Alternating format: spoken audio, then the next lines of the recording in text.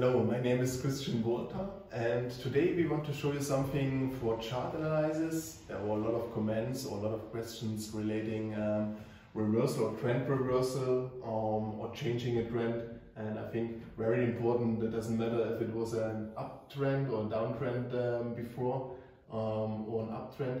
The most important thing is um, candles like this. Uh, if you have a candle with a really small body and you can see it was like here touching the $10 but intraday um, already going up again.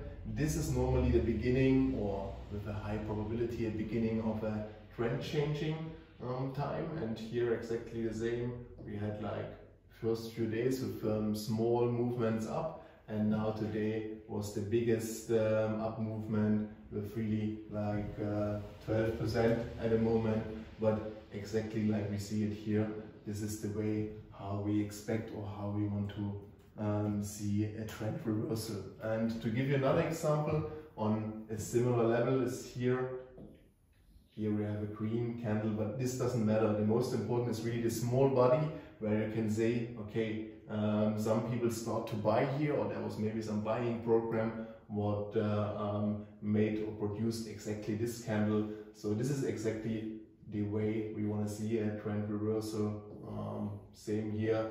The next few days it was still moving um, in the range of $8 um, till it finally broke out today about $10 and that's uh, really the thing what um, we consider as a trend reversal. On the same side you can also find it uh, um, on the upside um, when you have like for example a red candle with um, also a small body that can um, give you the same the same information or the same um, for a downtrend here.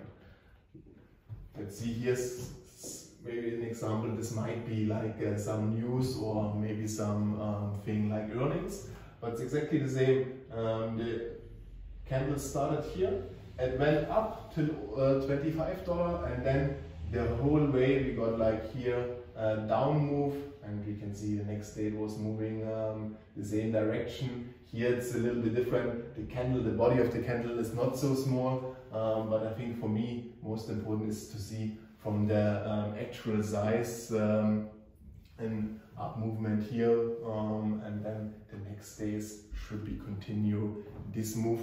Um, some people they will wait until two three days after we saw a candle like this or a candle like this um, but to catch it, the earliest step, um, I know it's a little bit more risky, but you can exactly search for um, candles like this.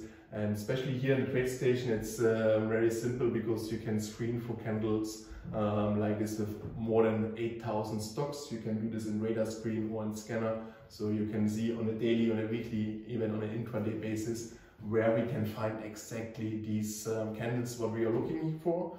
And um, at the end, all other candlestick patterns, this is one of the most simple uh, patterns I would say, you can screen automatically. So if you're a TradeStation user, feel free to contact us, leave a comment for us here or um, tell us um, which other patterns you want to screen or scan with the TradeStation. I would be happy if you subscribe to our channel, so feel free and uh, leave us some comments, some feedback, uh, always well appreciated. Um, have a great day and see you next time. Thank you very much.